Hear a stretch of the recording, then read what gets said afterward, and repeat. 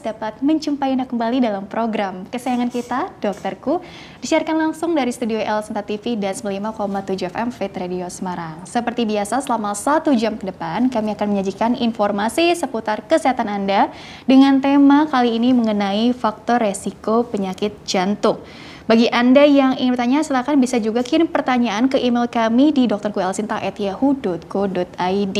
Dan hari ini kita kehadiran dengan Dr. Dian Zamroni, SPJPK FIHA, FASCC. Beliau adalah dokter spesialis jantung dan pembuluh darah, konsultan dari Rumah Sakit Sentra Medika Cisalak. Kita sapa dulu Dr. Dian atau Dr. Dizi yang sudah hadir di samping saya tentunya. Assalamualaikum warahmatullahi wabarakatuh, Dr. Waalaikumsalam warahmatullahi wabarakatuh. Wow, Alhamdulillah pasti kabarnya sehat. Alhamdulillah sehat. Alhamdulillah sehat gitu kan dokter mungkin wah tahu nih faktor resiko penyakit yang punya gitu ya. ya mudah-mudahan nggak ada ya dok ya. Mudah Sehingga bisa mengendalikan kesehatannya walaupun ya Allah juga yang kasih kesehatan ya. Tapi kita upayakan ikhtiar terus menjaga kesehatan fisik dan mental kita ya dok ya. ya. Betul. Nah soalnya temanya seputar faktor resiko nih dok penyakit jantung kan alangkah baiknya kalau setiap manusia gitu kan tahu dia punya faktor resiko apa sih dan itu bisa dikendalikan untuk mencegah datangnya penyakit. Salah satunya adalah faktor resiko penyakit jantung ya dok ya. Yeah. Karena main ke sini kok aku perhatikan kok usia-usia muda kok mohon maaf nih uh, mengalami serangan jantung, terus udah mengalami PJK itu sendiri hmm. gitu ya hmm. dok ya. Jadi kan menarik nih. Sebetulnya dimaksud dengan faktor resiko penyakit jantung, berarti nggak melulu soal usia ataupun mungkin keturunan, tapi juga hmm. ada faktor lain dok dok. Iya yeah, hmm. betul. Jadi kalau kita bicara tentang faktor risiko penyakit jantung, itu ada dua faktor risiko besar hmm.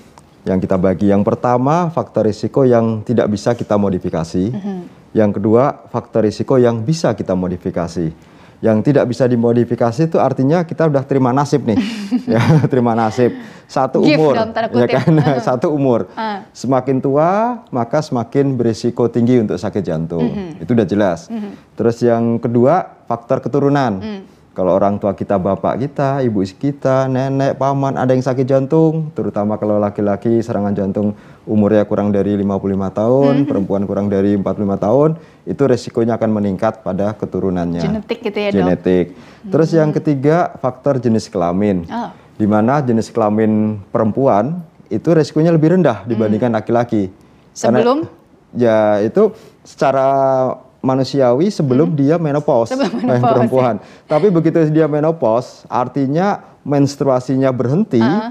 maka risikonya sama dengan laki-laki. Iya, nah, karena hormon tertentunya tadi. Ya, karena ya, hormon ya? estrogen. Hmm. Nah, jadi sebelum menopause masih menstruasi, itu produksi hormon estrogen perempuan itu masih tinggi. Hmm. Dan hormon tersebut memberikan proteksi terhadap jantung kita dan pembuluh darah.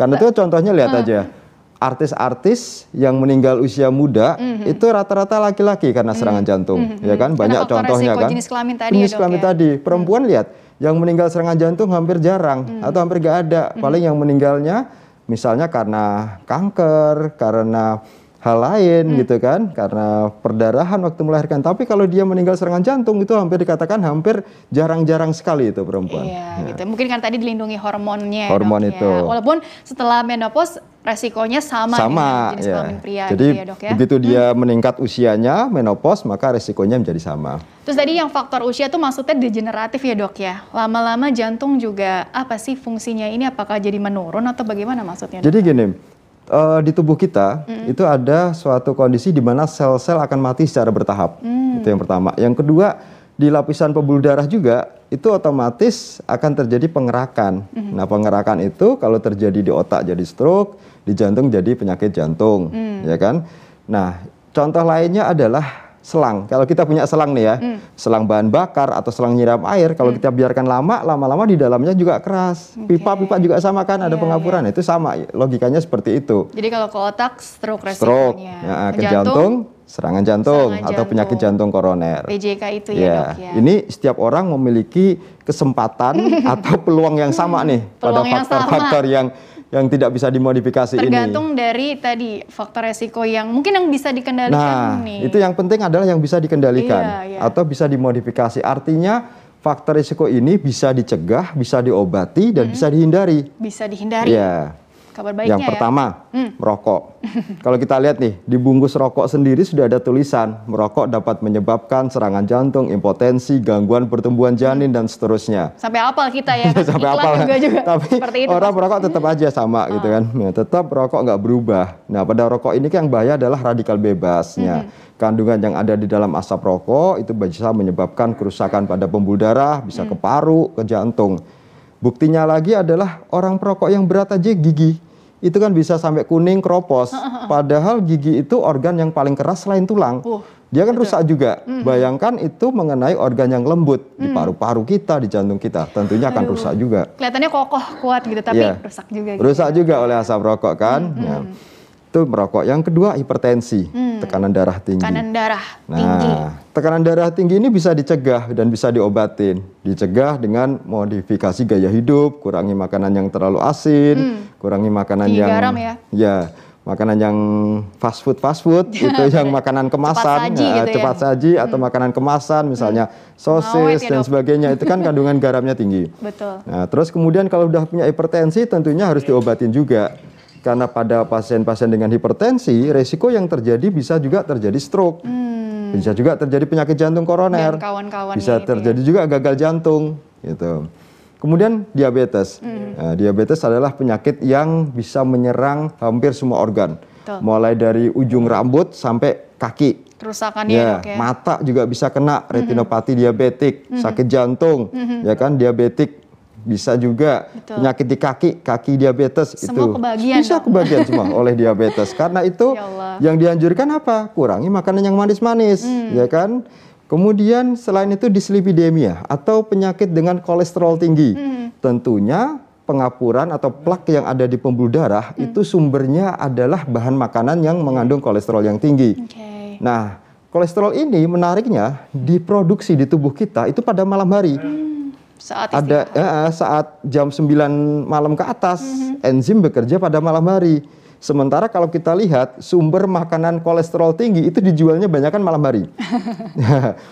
di pinggir jalan tuh banyak tuh ayam goreng, pecel lele. Nasi Lihat aja goreng. minyaknya Nasi warnanya goreng. apa. Nasi goreng, ya kan? Abang-abang nasi goreng lagi pandemi sih ya sayangnya. sayang ya.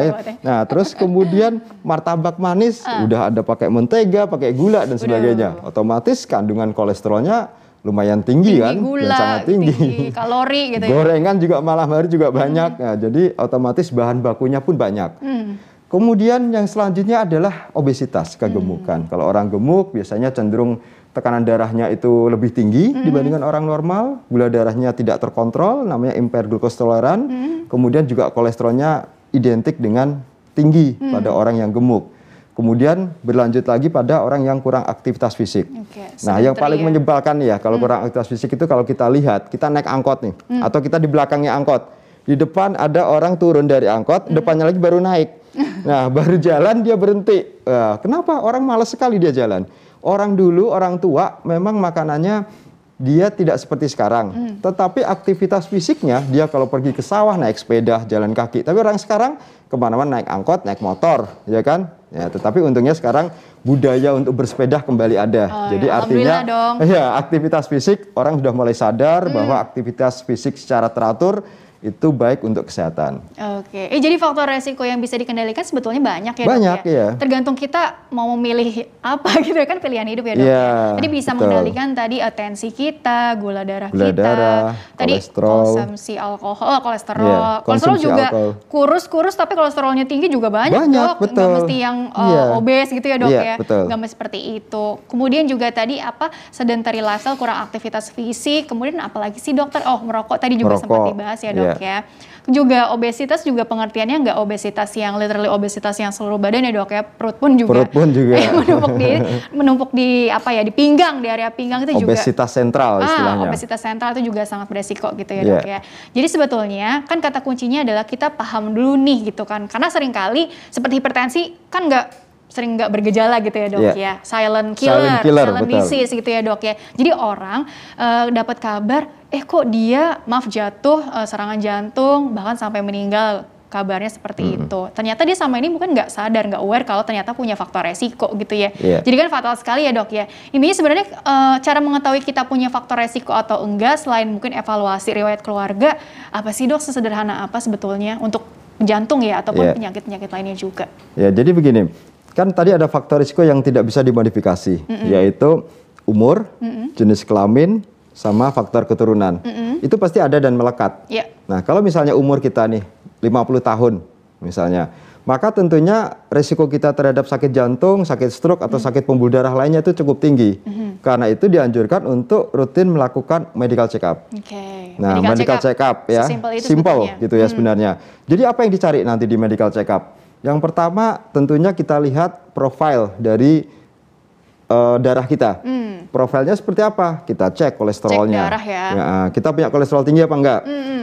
Cek gula darah. Gula darah kita tinggi apa enggak? Mm. Dan tentunya yang sederhana adalah cek untuk melakukan pemeriksaan sendiri tekanan darah kita. Oke. Jantung kita dalam satu menit itu berdenyut 60 sampai 100 kali. Hmm.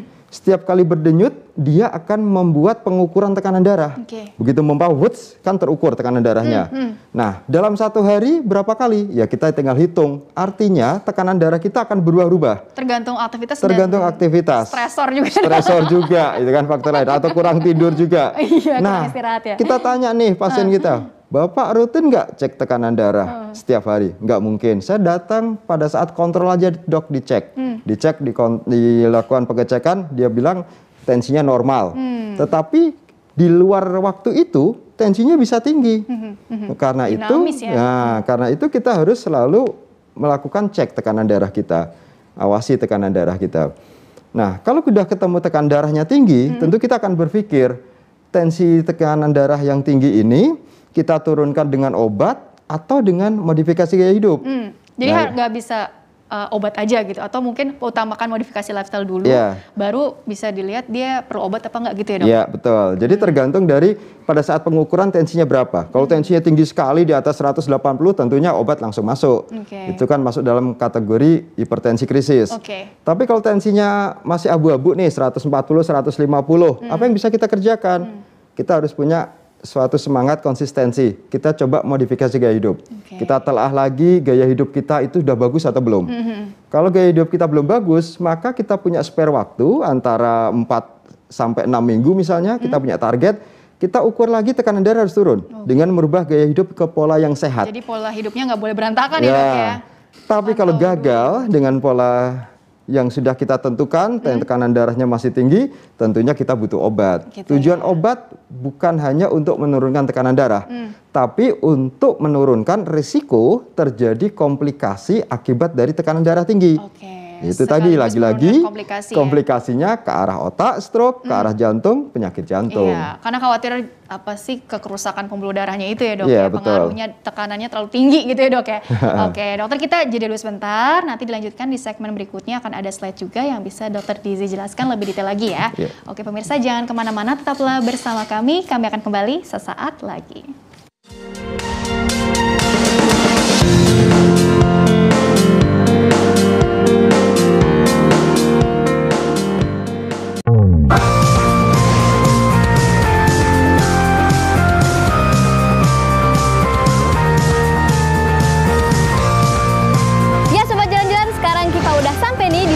Satu museum yang menyimpan sejarah tentang berdirinya bangsa Indonesia nih.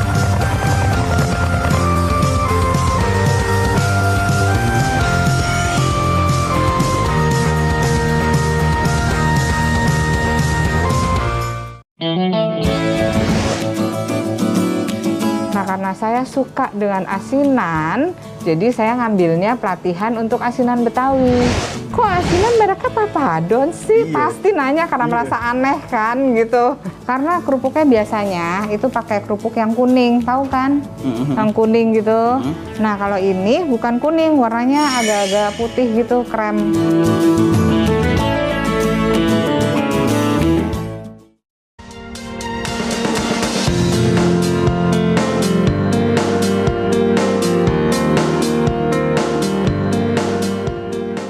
Ya pemirsa terima kasih Anda masih bersama kami di program Dokterku masih membahas mengenai faktor resiko penyakit jantung bersama dengan Dr. Dian Zamroni SPJPK FIHA FASCC. Beliau adalah dokter spesialis jantung dan pembuluh darah, konsultan dari Rumah Sakit Sentra Medika Cisala. Bagi Anda yang ingin bertanya silakan kirim saja pertanyaan ke email kami di dokterkualsinta@yahoo.co.id. Dokter Dizi dilanjutkan kembali ya dok ya. Siap, supaya.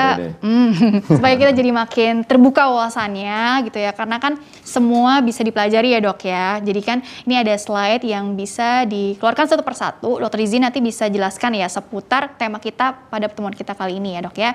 Coba slide pertama ini berbicara tentang kalau tidak salah anatomisnya ya dok ya. Nah ini sebenarnya cara kerja eh, atau pompa jantung gitu itu juga jantung tuh lokasinya di mana sehingga kalaupun ada keluhan kita perlu waspada ini lokasinya juga di mana sih gitu ya dok ya Iya. apa yang bisa dokter eh, perjelas nih dari gambar ini dokter Ya. Jadi pada umumnya jantung kita itu terletak di bagian tengah dada kita, Hmm. di mana sebagian besar puncaknya atau apexnya, ujungnya itu mengarah ke arah sebelah kiri. Karena itu kalau terjadi serangan jantung atau penyakit jantung koroner, keluhan yang muncul adalah nyeri dada di bagian tengah atau di sisi sebelah kiri. Sisi Kemudian sebelah ada kiri. penjalaran. Menjalar jantung- ke mana, Dok?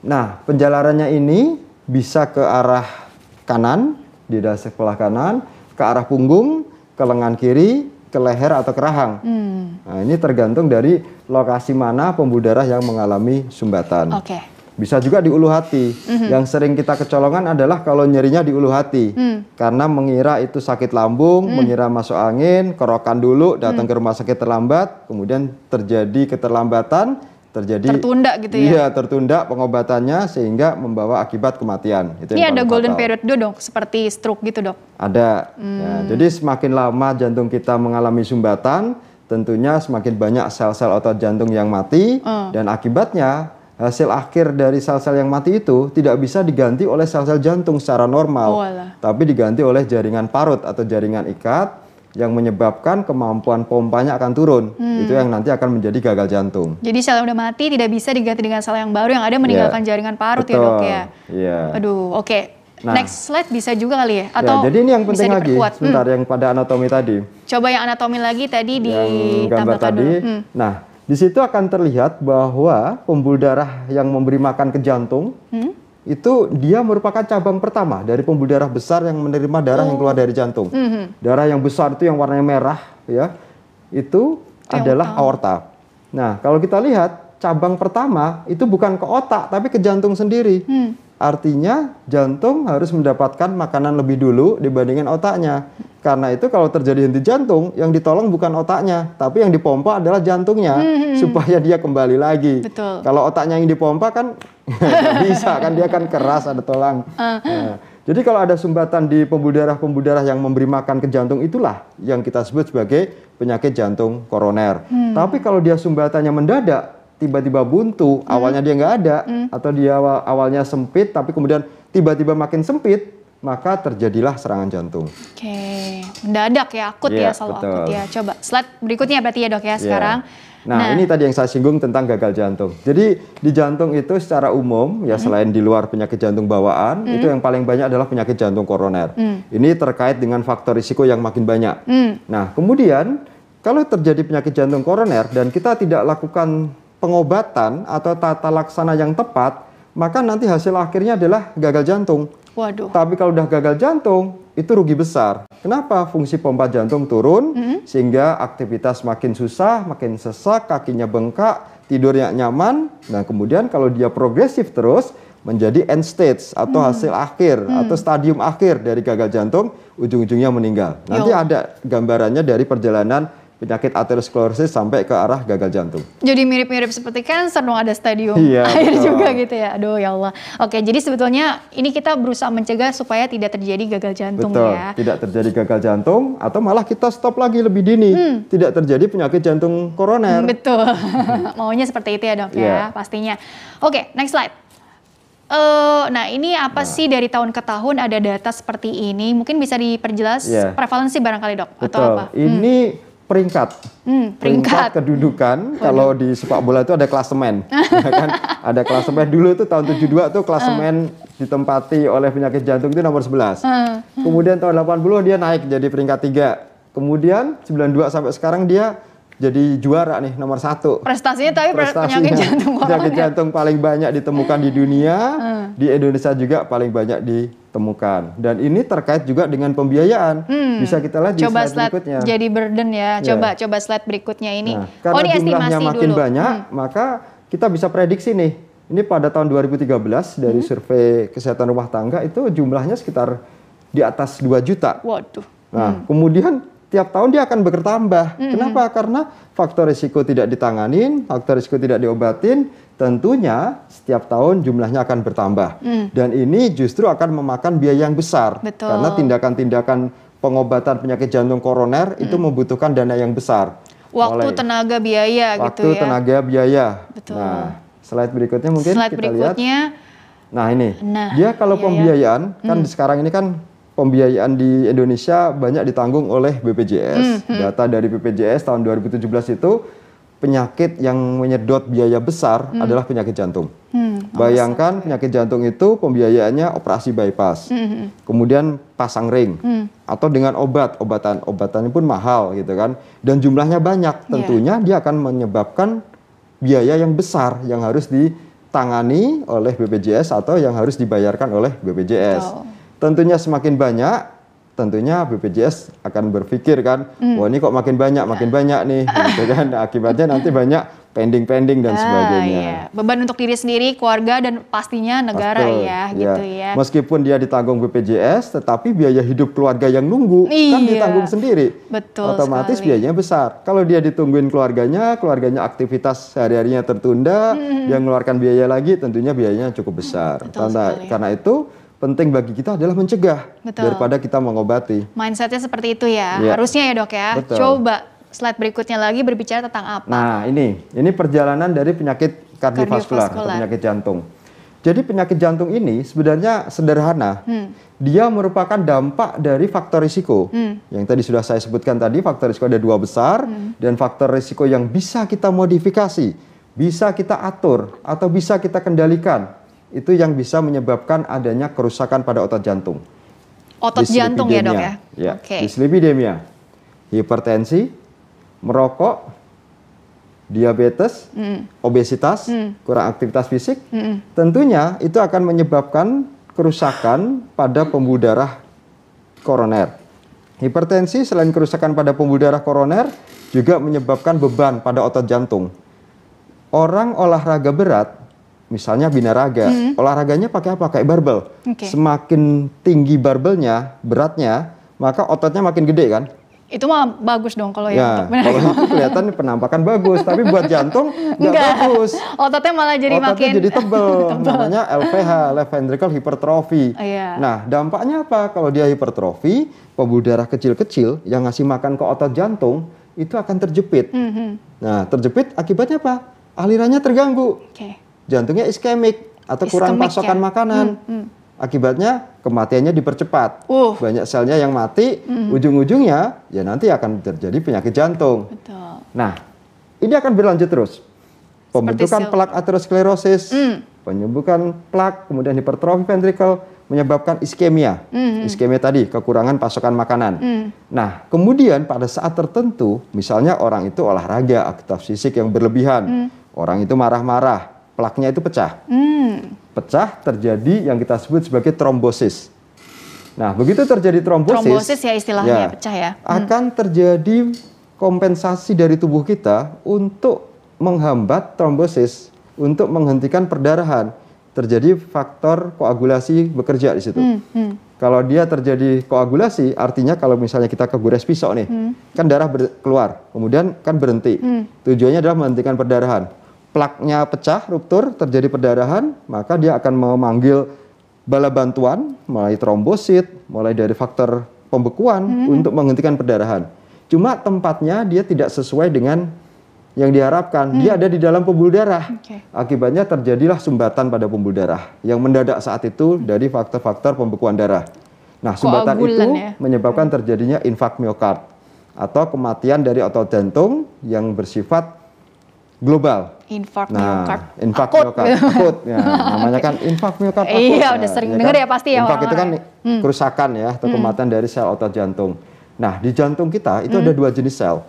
Sel yang bersifat listrik yang bisa berdenyut, Hmm. membuat denyut, dan satu sel yang ini bersifat pompa. Oke. Yang satu itu ibaratnya PLN-nya. Kalau itu dulu yang rusak, maka yang terjadi adalah sudden cardiac death. Hmm. Oke. Aritmia, kemudian kematian mendadak. Hmm, Jadi sudden cardiac death. Jadi orang kalau ditemukan meninggal itu polisi berpikir satu pembunuhan, yang kedua bunuh diri, Atau serangan ketiga overdosis, nah yang keempat baru oh ini serangan jantung. Iya, nah sekarang ditambah ini oh, ini COVID.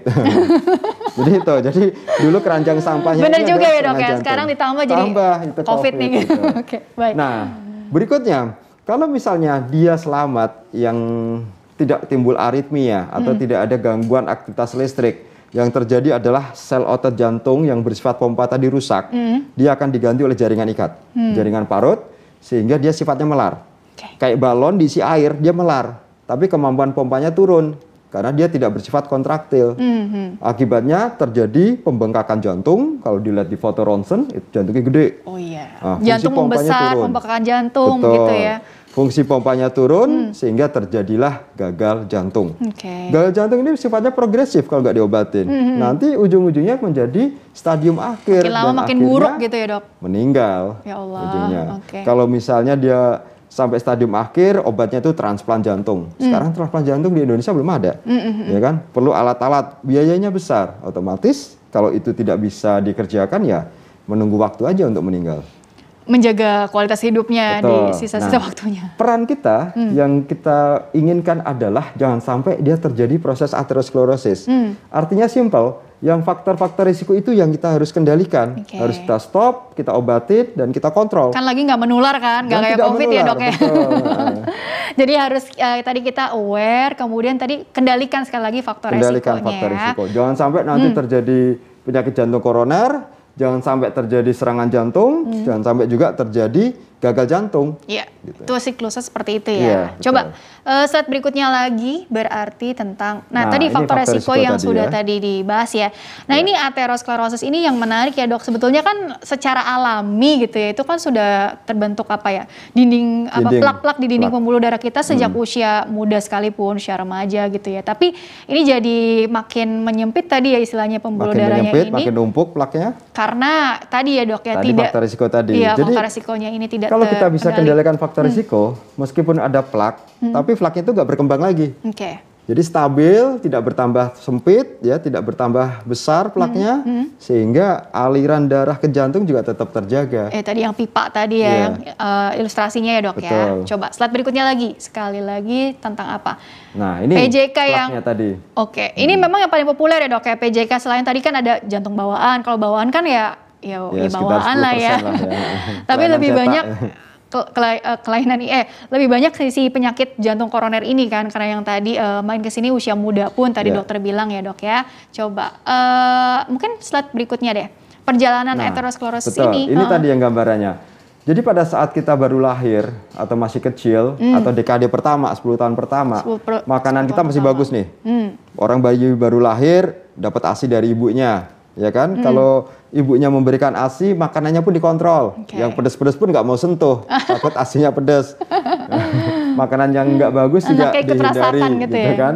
Nah, tetapi dengan perkembangannya waktu, perjalanan waktu, pada umur umur remaja, umur anak sekolah, umur SD mau akhir lulus SMP, lihat sekarang orang lebih suka makan dalam kondisi apa?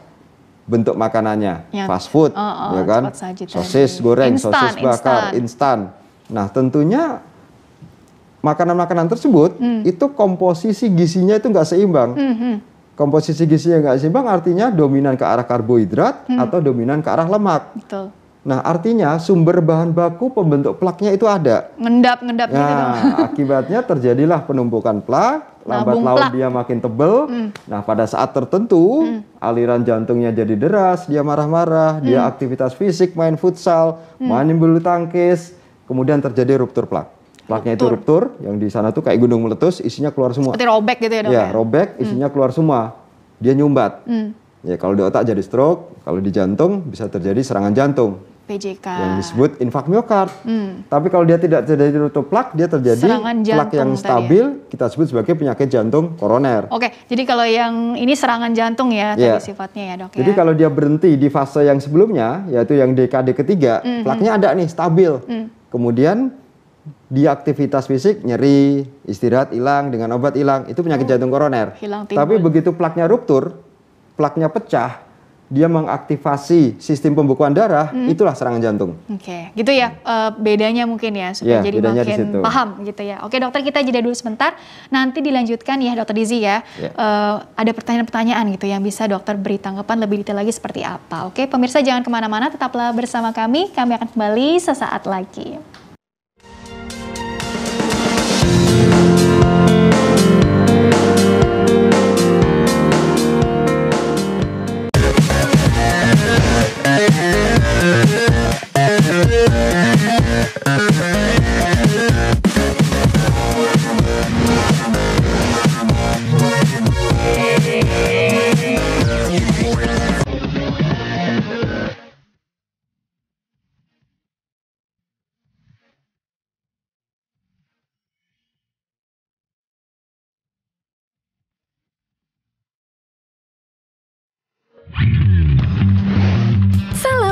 Otoholic. Mencoba hal baru untuk menghasilkan karya unik dan menarik. Memberikan informasi tips seputar kendaraan kesayangan Anda. Serta menambah referensi dan edukasi untuk mencapai keinginan Anda dalam memodifikasi kendaraan. Semuanya telah terangkum di Otoholic.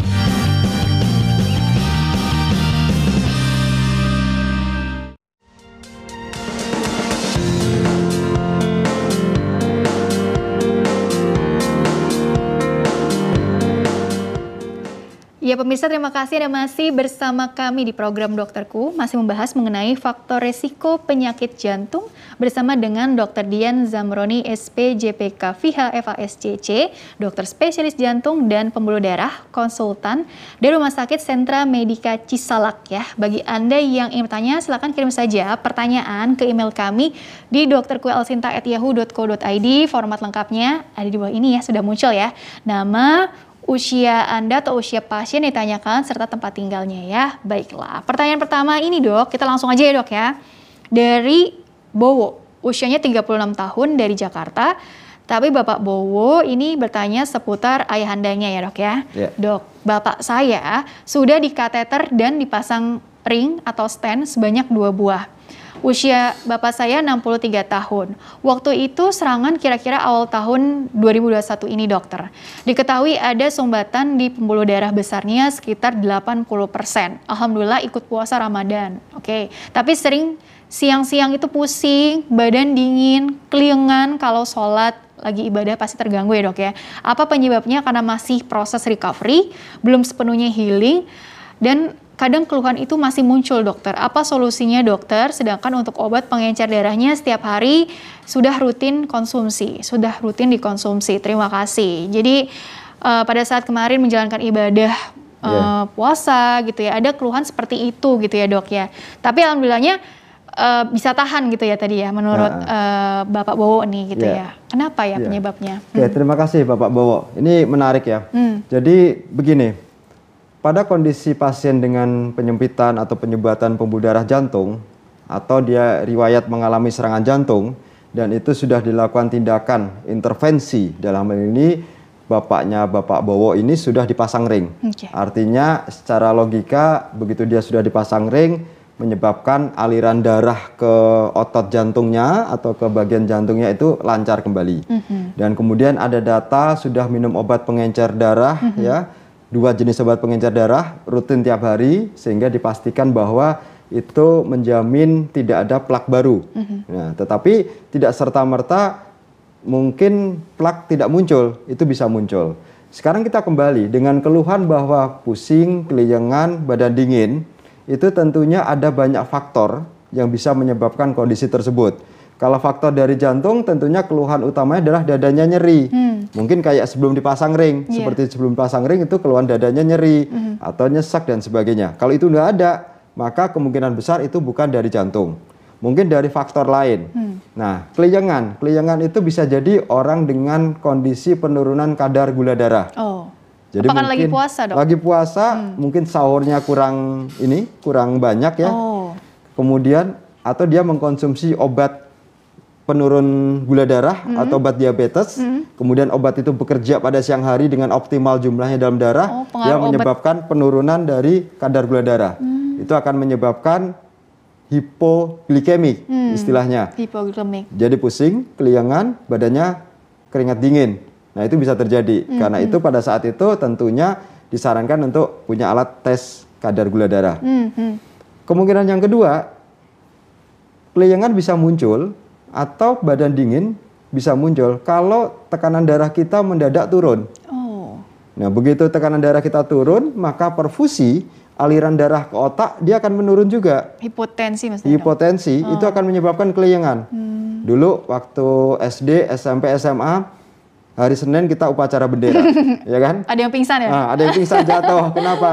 Dia hipotensi, ortostatik, aliran darah ke otak terganggu, dia jatuh, Kok selalu, keliengan, pingsan. selalu ada ya dok pingsan Selalu ya? ada, pasti ada gitu. Heran deh. Jadi bisa juga karena gula darah, bisa juga karena hipotensi. Oke. Dan itu belum tentu juga karena masalah jantung. Kalau masalah jantung tentunya keluhannya seperti awal sebelum dilakukan pemasangan ring. Oke. Nah, sarannya apa? Sarannya bagaimana? Hmm. Sarannya evaluasi lagi.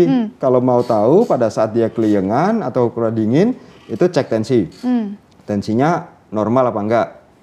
Rendah apa normal apa tinggi misalnya. Atau cek gula darah. Gula darahnya ngedrop apa enggak? Hmm. Kalau gula darahnya turun, tentunya ya nggak bisa dilanjutkan puasa. Harus membatalkan minum yang manis dulu, Oke. minum yang ini supaya gula darahnya tidak makin turun menyebabkan kerusakan permanen di otak. Jangan memaksakan juga ya Jangan seandainya memaksakan juga. kuat ya. Jadi jadi sebelum membatalkan periksa aja dulu. Hmm. Paling simple cek tekanan darah sama cek gula darah. Jadi tekanan darah, gula darah itu sangat mempengaruhi Betul, juga ya dok nah. ya. Jadi kemungkinan juga bukan karena apa tadi masih proses recovery atau sebelum sepenuhnya healing gitu ya. Iya, Pertanyaannya enggak. seperti itu. Mungkin bukan dari itu. Hmm. Nah, nanti kalau misal ketemu gula darahnya turun atau tensinya turun, apa yang dilakukan? Dimodifikasi obatnya. Hmm. Oke. Misalnya obat untuk yang diabetes jangan diminum pada saat sahur, tapi di pada saat berbuka. Artinya pada saat sahur nggak minum obat diabetes supaya kadar gula darahnya tetap agak tinggi. Oke. Tapi begitu berbuka itu diminum. Karena kalau nanti keliengan pada saat sholat raweh Hmm. itu bisa langsung minum kan, minum teh manis atau makan supaya kadar gula darah kembali normal. Oke, tapi kerja obatnya sendiri tadi bisa mempengaruhi keluhan yang muncul begitu nggak sih dok? Nggak ya dok ya? Obat yang Mungkin yang tadi gejala-gejala seperti ini, Hmm. tadi kan karena obat yang setiap hari dikonsumsi mungkin terlalu banyak, itu bisa juga nggak sih dok? Nggak ya Oh, dok ya? enggak. Jadi ya itu tadi kalau dia penyebabnya karena kadar gula darahnya yang turun tentunya itu berhubungan dengan obat diabetes. Hmm. Kalau misalnya dia karena tensinya yang turun mungkin itu berhubungan dengan obat antihipertensi. Tinggal dimodifikasi aja waktu cara minum obatnya. Itu bisa konsul ke dokter yang menanganinya Iya, langsung ya. betul. Kurang lebih seperti itu ya. Pertanyaan berikutnya ya dari Bapak Waisul, Waisul Kak katanya, Tangerang, Banten. Dokter anak saya laki-laki usia 17 tahun. Waktu kecil ada riwayat terkena penyakit jantung bocor gitu ya. Divonis waktu usia 6 bulan. Lalu seiring bertambahnya usia di sekitar 1 hingga 2 tahun ukuran jantung bocornya mengecil. Setelah itu kami tidak pernah konsul lagi sejak usia anak saya 24 bulan. Namun sekarang ternyata anak saya diam-diam merokok dok di usia remaja. Eh, 17 ya tadi usianya ya. Iya, 17. Parahnya jantungnya sepertinya mulai kumat, ada keluhan lagi dok gitu ya. Bagaimana nih dok, apakah bisa disembuhkan? Dia mengeluh soalnya area paru dan jantung berarti ya, eh, area dada berarti ya dada dok. nih ya. Iya, Hmm. nyeri seperti nyeri dada tuh benar. Iya. Dan sesak. Eh, mohon bantuannya dokter, terima kasih. Ini ada kaitannya dengan riwayat eh, jantung bocornya juga yang jadi resiko juga atau murni ini penyakit baru lagi yang nggak ada urusannya sama sekali dengan masa lalu karena rokoknya ini yang dominan Iya, faktor iya. resiko bagaimana dok? Ya, jadi eh, begini, pada saat waktu kecil divonis ada penyakit jantung bawaan, dikatakan jantungnya bocor. Nah, kebocoran jantung itu ada dua besar, satu bocornya di katup atau bocornya di sekat. Kalau di sekat itu ada sekat yang di serambi, ada sekat yang di bilik. Nah, biasanya kalau begitu meningkat usianya, ada pertumbuhan yang bisa menutup itu adalah sekat yang di bilik Oh ini mungkin namanya di VSD di bilik kali. mungkin di bilik Hmm. kalau sekatnya di septum itu mungkin awalnya foramen ovale dia bisa nutup dengan sedikit gitu. Tapi kalau dia ASD dia biasanya tetap. Nah, ini karena menutup mungkin dia di VSD, ventricle septal defect atau di biliknya itu sekatnya itu awalnya bocor karena ototnya makin tumbuh dan sebagainya dia seolah-olah seperti tertutup. Oke. Nah, sekarang dengan berjalannya waktu umur, umur 17 tahun, mengalami paparan faktor risiko merokok. Nah, apakah ini akan menyebabkan bocor lagi? Tentunya enggak. Ini mungkin suatu penyakit baru yang menyebabkan kelainan pada paru-parunya, juga kelainan pada jantungnya. Tapi kalau kelainan jantungnya, kalau dia merokoknya mungkin baru satu tahun atau berapa bulan, mungkin tidak sifatnya akut. Oke. Tetapi yang mungkin bersifat akut adalah kelainan atau masalah di paru-parunya. Di paru-parunya bisa terjadi peradangan di paru, itu juga bisa menimbulkan rasa nyeri atau sesak. Oh, iya. Bronkitis. Terus Bronkitis, kemudian kerusakan pada saluran nafasnya. Nah, kemudian kalau dia kerusakan pada saluran nafas silianya, itu nggak bisa menyebab tidak bisa membuang dahak, darahnya kan turun ke bawah. ya. Nah, itu rentan untuk terjadi infeksi paru. Batuk-batuk, dada sesak atau dada sakit, namanya pneumonia. Nah, itu bisa terjadi pada seorang perokok Gampang infeksi gitu ya gampang infeksi Ya Allah. gitu. Jadi mungkin harus dicari adalah ini berhubungan dengan jantung atau berhubungan dengan paru. Hmm. Sederhana, periksa ronsen torak, ronsen dada untuk melihat masalah kelainan di paru-parunya atau ke jantung nanti untuk dievaluasi apakah kelainan jantung bawaannya itu masih ada, makin besar atau makin kecil atau tetap. Kalau nggak ada masalah lagi di dalam intrakardiak atau di dalam jantungnya, tentunya yang berhubungan dengan faktor risiko merokok adalah pembuluh darah koroner. Hmm. Umur 17 tahun hampir jarang terjadi kerusakan pada pembuluh darah koroner yang kita sebut plak aterosklerosis Hmm. Hampir jarang tadi. ya? Hampir jarang. Hampir jarang. Tapi kalau mau menyegali apakah ini masalah dengan pembuluh darah koroner apa tidak, yang paling sederhana adalah dilakukan tes treadmill. Hmm. Nah, dengan tes treadmill akan dilihat perubahan gambaran rekaman jantungnya. Kalau ada penyumbatan, dia akan membuat gambaran yang beda dengan yang normal. Jadi arahnya tadi oh yang diarahkan tuh rosen thorax Rosen atau thorax, treadmill test gitu ya treadmill dok test, ya. betul. Bisa mungkin ke apa sih spesialis paru apa jantung atau dua-duanya atau pilih salah satu dulu atau gimana dok? Iya. Melihat dari ceritanya nih kan kadang-kadang bingung ya kita langkahnya apa yang mesti diambil Iya. supaya nggak buang-buang waktu juga. Mohon maaf nih dok. Hmm. Ya, mungkin pertama periksa dulu ke dokter umum. Nah, nanti dokter umum akan melakukan estimasi diagnosis atau diagnosis kerja.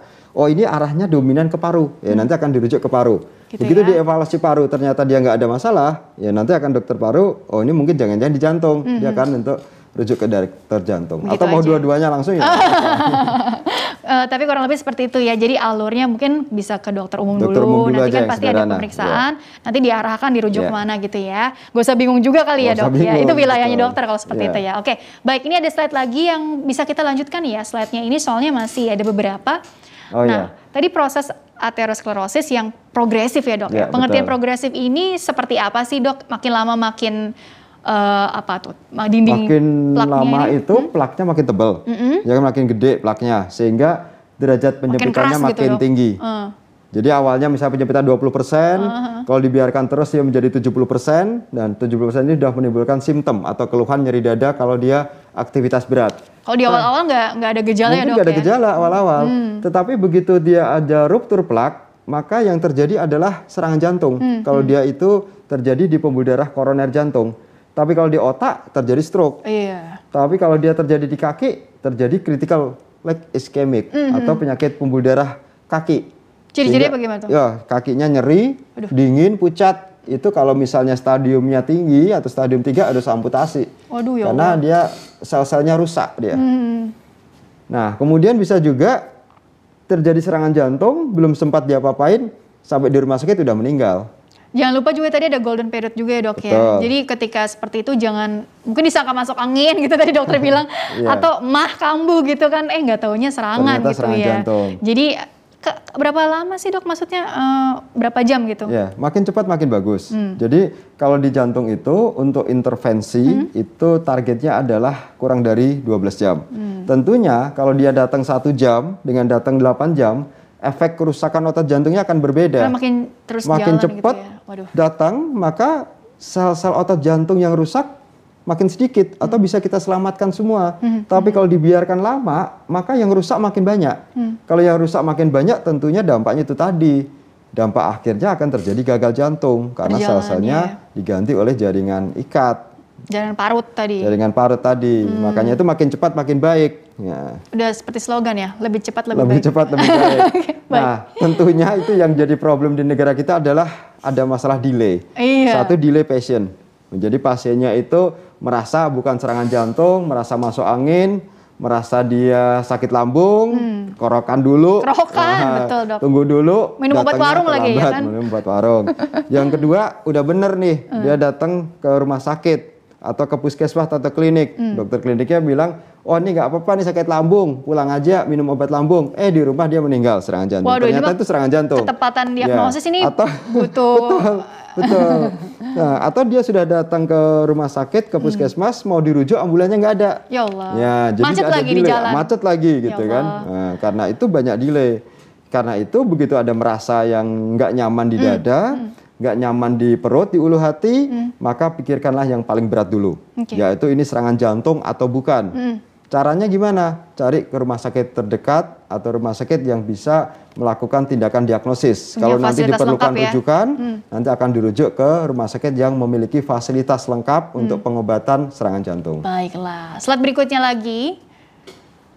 Setelah prosesnya, oh nih Nah, tadi sumbatan pembuluh ya. darah jantung. Saya kira ini sama, ini progresivitas dari penyumbatan jantung. Betul. Keluhannya dadanya sakit kalau aliran darah ke jantung berkurang. Hmm. Sama dengan kalau kita lagi lapar, pasokan makanan nggak datang-datang nih, perut Hmm. kita keroncongan, perut kita nyeri. Nah itu sama, jantung ada sumbatan, yang ngasih makan kurang, maka otot jantungnya teriaknya gimana? Dadanya sakit. Nyeri. Alarm ya sebetulnya Alarmnya ya. seperti itu. Coba slide berikutnya lagi. Nah ini. Oh, Nah ini kalau orang serangan jantung kita harus bedakan ini serangan jantung, ini serangan lambung ya, Mm-hmm. ini serangan eh, trauma di dada. iya bisa Nah, juga. jadi gini diagnosis banding atau hal-hal yang menyebabkan keluhan nyeri dada itu banyak macamnya. Bisa dari atas itu ada kulit bekas herpes, Mm-hmm. herpes zoster. Di otot ada muskuloskeletal, biasanya kita habis angkat beban, habis jemur. Nah, kemudian posisi nggak bener, itu dadanya nyeri. Mm-hmm. Itu belum tentu serangan jantung, itu mungkin dari otot. Cirinya apa? Kalau dipegang itu enak, diurut-urut itu enak. Nah, itu mungkin dari otot. Tapi kalau Mm-hmm. Dari ya. jantung nggak. Dari jantung itu nyerinya kayak ditekan. Oh. Kita nggak bisa nunjuk di area mana. Jadi Tertiban berat. gitu ya? Betul kayak ditimpa beban berat. Oh, Ya, kayak diperes, kayak dipelintir Waduh. gitu kan. Kemudian lokasinya di bagian tengah dada. hmm. Kemudian bisa juga di ulu hati. Nah, yang sering miss itu di ulu hati. Hmm, Baik miss pasien maupun miss dokternya yang menerima pasien tersebut dikira sakit lambung. Kemudian ada penjalaran. Bisa ke lengan kiri, lengan kanan, ke leher, rahang, punggung. Hmm, Kemudian ada pencetus, habis olahraga, habis marah-marah, aktivitas gitu ya. Habis kena udara dingin, Oh. ya, habis kena hujan tuh yang paling sering, habis kehujanan, masuk angin dikira, ternyata dia serangan jantung. Kemudian ada gejala penyerta, mual, muntah, sesak nafas, pingsan, keluar keringat dingin. Nah itu gejala penyerta kalau dia mau serangan jantung atau dia Oke, mengalami serangan Itu jantung. serangan jantungnya. Tapi kalau yang gejala PJK itu misalnya gini, dari awal kita udah bisa memprediksi nggak sih, misalnya kalau kita oh jalan sedikit, Hmm. nampak kelelahan gitu ya, atau naik tangga sedikit kok kayaknya ngos-ngosan Ngos-ngosan, gitu ya. sakit. Itu Nah. kan selalu ya, oh itu ciri-ciri penyakit jantung tuh gitu kan. Kita Iya. selalu dapat eh, omongan seperti itu dari orang-orang atau mungkin eh, dari tangan keringat dingin atau apa basah itu juga kadang-kadang juga sering disangkut pautkan gitu ya dok ya. Tapi Iya. artinya sebenarnya gini, terlepas dari ini karakteristik nyeri dada serangan jantung untuk penyakit jantung koroner itu sendiri gejala yang mungkin apa ya hilang timbul tapi perlu kita waspadai itu ada nggak sih dok? Nyeri dada. Nyeri dada aja Ah, gitu ya dok? Betul. ya? Kalau Atau yang dadanya nggak nyaman, di bawah dadanya aktivitas, nyeri, Dok? Hmm. saat aktivitas dia makin berat atau makin sakit, makin nggak nyaman, nah itu berarti dia makin iskemik. Oke. Kenapa? Karena kalau begitu aktivitas, maka otomatis denyut jantung kita naik jumlah apa eh, per menitnya. Hmm. Awalnya istirahat itu 60, begitu dia aktivitas naik jadi 100 kali per menit. Kalau dia naik 100 kali per menit, tentunya bahan bakar yang dibutuhkan untuk kerja jantung Hmm. itu makin banyak. Sementara dia tidak bisa terpenuhi karena ada sumbatan. Oke. Nah, sehingga nyerinya muncul makin bertambah. Intinya seperti itu, nyeri dada jadi alarm gitu ya. Ya, dok, apalagi kalau punya faktor risiko Nah, tadi. itu dia kalau tadi. udah ada, ya udah pikirkanlah yang paling berat dulu. Intinya kalau untuk pemeriksaan uh, secara umum ya kita mau oh medical check up deh apalagi saya punya riwayat bapak saya misalnya atau yeah. uh, keluarga saya, ibu saya, kakek saya ternyata ada riwayat PJK gitu ya dok ya. Terus saya kemungkinan nih beresiko tinggi atau enggak sih walaupun mungkin lifestyle saya bagus nih gitu ya dok ya. Itu cara taunya juga apakah dengan ya tadi pemeriksaan yang sudah dokter sampaikan atau kita uh, bisa juga kalau yang sudah ada keluhan yang berat seperti itu pasti oh kita inisiatif mau kateter gitu walaupun itu mungkin hmm. uh, nanti tergantung dari hasil temuan dokternya juga dokter. Yeah. Kira-kira bagaimana? Ya, jadi yang yang sederhana kalau memastikan ini serangan jantung atau tidak itu dengan pemeriksaan elektrokardiogram atau EKG. EKG ya. Nah, yang kayak rumput-rumput itu tuh. Mm -hmm. Ini untuk men-screening pertama ini kondisi nyeri dadanya ini serangan jantung atau bukan. Mm -hmm. Tapi kalau dia tidak ada keluhan tapi dia punya faktor risiko, maka yang sangat dianjurkan adalah medical check up. Hmm. Pertama medical check up sederhana adalah dilihat rekaman jantung. Yang kedua profil dari kolesterol, gula dan sebagainya. Hmm. Kalau itu normal, kemudian ada faktor risiko atau ada keluhan aktivitas fisik berat dia timbul keluhan, hmm. maka langkah berikutnya adalah tes treadmill. treadmill Kalau test. treadmill nanti gambarannya dia ada gambaran yang abnormal hmm. dari rekamannya, tentunya akan dilakukan pemeriksaan lanjutan untuk memastikan ini penyumbatannya berapa persen dan berapa banyak. Okay. Ada dua pilihannya. Hmm. Yang pertama bisa dengan CT scan. Yang kedua dengan kateterisasi. Okay. Tapi kalau untuk memudahkan, dokternya menentukan oh ini perlu kateterisasi, oh ini perlu CT scan, akan dibuat suatu metode dengan Duke treadmill score. Hmm. Ada skor yang hmm. bisa dihitung. Kalau hmm. dia skornya sekian, dia harus kateter. Skornya hmm. sekian, dia bisa dilakukan CT scan koroner. Intinya ada tahapannya juga ada ya. Ada tahapnya juga. Okay. Hmm. Jadi nggak serta merta pasien dengan keluhan dada sakit, hmm? kemudian rekaman jantungnya normal, faktor risiko nggak ada, langsung dikateter. nggak begitu ya. ya. Oke, dokter kita istirahat dulu sejenak, nanti dilanjutkan di segmen terakhir ya dok ya. ya. Oke pemirsa jangan ke mana-mana, tetaplah bersama kami. Kami akan kembali setelah pesan-pesan berikut ini.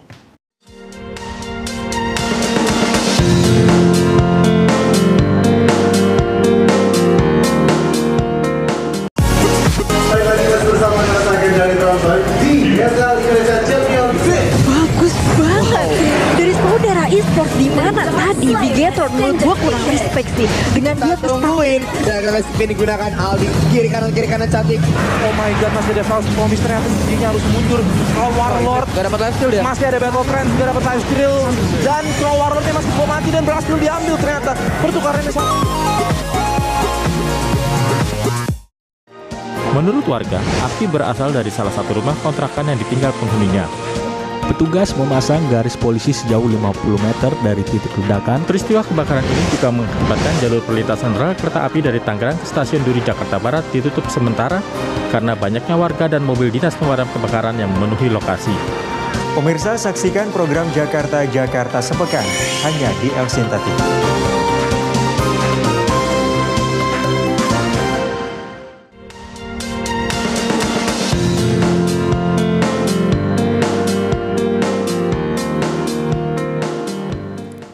Ya pemirsa terima kasih dan masih bersama kami di program Dokterku masih membahas mengenai faktor resiko penyakit jantung bersama dengan Dr. Dian Zamroni SPJPK VH FASCC, dokter spesialis jantung dan pembuluh darah konsultan di Rumah Sakit Sentra Medika Cisalak. Dr. Dizi dilanjutkan kembali ya dok yeah. ya. Jadi sebelum ke take home message-nya tadi kan di slide juga ada nih resiko uh, ke depannya gitu ya komplikasi. Bukan menakut-nakuti, tapi memang kenyataannya demikian, sehingga kan kita perlu mencegah terjadinya sesuatu yang jauh lebih buruk, yaitu gagal jantung gitu ya dok ya. Gagal jantung ini mungkin di Indonesia sendiri cukup banyak kasusnya, sehingga kita perlu bagaimana sih dok menyikapinya gitu ya. Silakan dokter. Ya.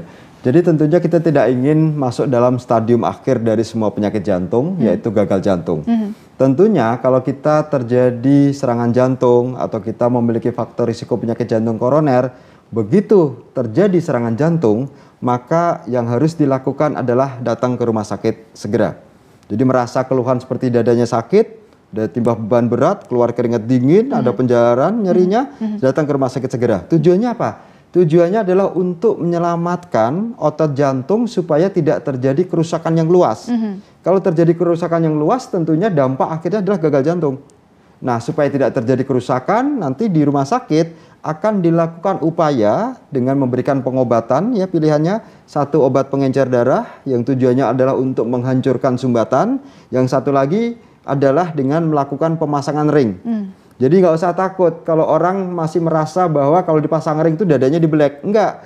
Kalau sekarang kita melakukan pemasangan ring paling banyak tuh 90% bisa lewat tangan. Okay. Jadi lewat tangan dipasang kayak infus tuh alatnya hmm. masuk ke dalam pembuluh darah jantung koroner, dilihat ada sumbatan dan di situ langsung dilakukan pemasangan ring. Betul. Tujuannya adalah untuk mengembalikan aliran darah supaya tidak terjadi kerusakan otot jantung dan itu mencegah terjadinya gagal jantung di kemudian hari. Obat-obatan juga sama. Hmm. Jadi nggak usah takut datang ke rumah sakit. Kalau takut komplikasi pasti akan terjadi komplikasi. Tetapi tentunya dokter akan bekerja dengan hati-hati, hmm. dengan profesional hmm. supaya tidak terjadi komplikasi.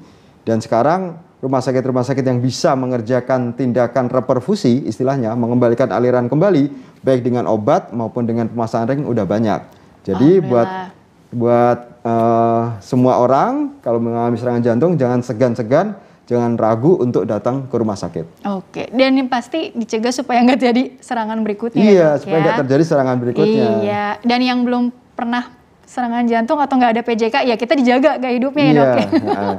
Jangan sampai ada dua tuh namanya primary prevention ah, atau pencegahan, pencegahan primer. primer. Itu dalam arti mencegah faktor risiko jangan sampai terjadi penyakit jantung koroner. Ada secondary prevention atau pencegahan sekunder.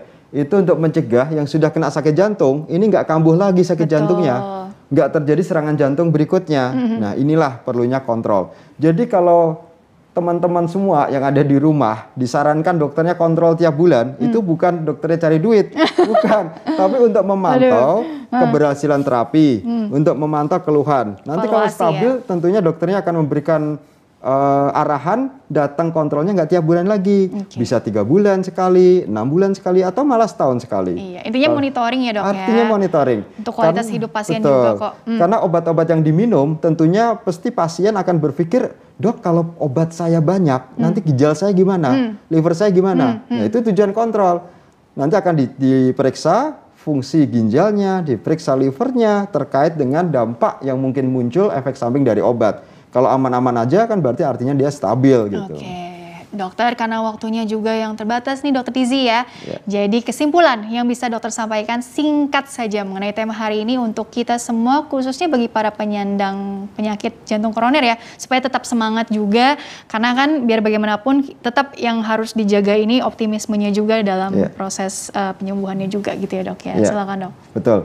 Jadi kita harus bisa menjaga faktor-faktor risiko supaya tidak berkembang menjadi penyakit jantung koroner atau ke arah yang lebih buruk lagi menjadi gagal jantung di kemudian hari.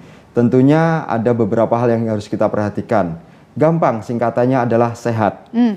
S seimbang gizi. E enyahkan rokok. H hindari stres. A awasi tekanan darah. T teratur berolahraga. Kalau kita bisa pola hidup sehat, hal-hal yang menjadi penyebab penyakit jantung tentunya akan bisa kita cegah supaya tidak terjadi penyakit jantung koroner, tidak terjadi serangan jantung dan tidak terjadi gagal jantung di kemudian hari. Oke, Dokter Dizi, terima kasih telah berbagi ilmunya di sini. Insya Allah membawa banyak manfaat Amin. untuk orang banyak ya. Sukses, berkah selalu, sehat selalu untuk Dokter Dizi ya. Amin, ya Amin. ya Rabbal Alamin. Iya. Dan pemirsa terima kasih juga Anda telah mengikuti program ini. Saya Rini Ayu Ningtyas beserta seluruh petugas mohon undur diri dari hadapan Anda. Sekian dan sampai jumpa.